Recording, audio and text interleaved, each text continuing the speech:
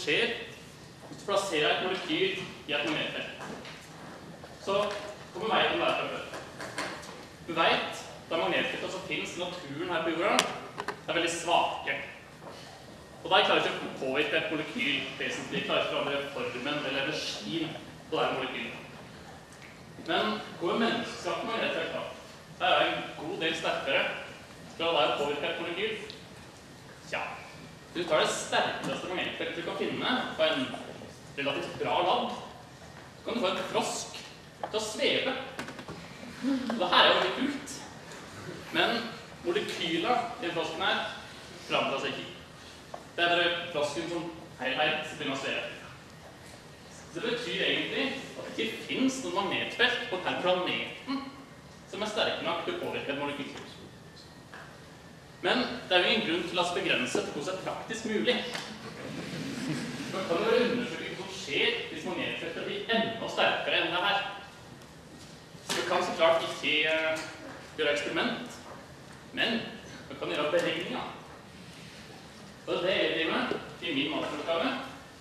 Er med i en forskningsgruppe som utvikler et dataprogram som kan gjøre beregninger i veldig sterke magnetfelt.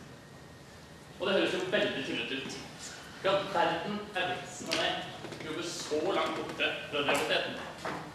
Vel, jeg sa jo at det magnetfeltet ikke eksisterer på jorda. Men i verdensrommet eksisterer det så sterke magnetfelt. Og merkelige himmelobjekt som nøytronstjerner og hvite dvergene eksisterer det så sterke magnetfelt.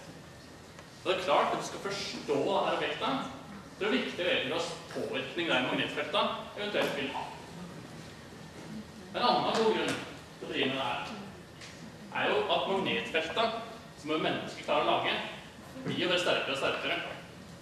Og hvis man en dag skulle klare å lage så sterke magnetfelt som vi jobber med, så er det greit å vite hvilken påvirkning det eventuelt vil ha.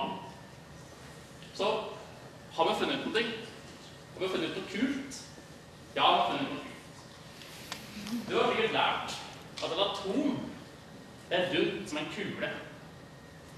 Det er ikke nødvendigvis sant lenger i sterke magnetfelt.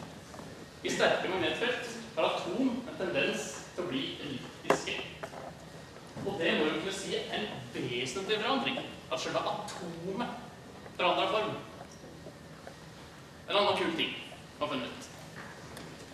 Kjemilæreren deres har sikkert sagt at helium det inngår ikke i noen mellom. Det er ikke nødvendigvis sant lenger i sterke magnetfelt. I sterke magnetfelt er helium-2 en fullstendig lovlig forbindelse. Og det er klart at hvis helium-2 kan begynne å eksistere, så kan man ha en andre molekyl som har tenkt at det er umulige, kanskje begynne å eksistere. Og molekyl med vant med at det er veldig stabile, kanskje det er slutta å eksistere.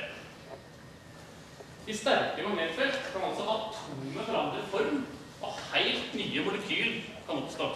Dette er fundamentale forandringer som gjør at de sterke magnetfelt er en helt ny verden for den som er nysgjerrig.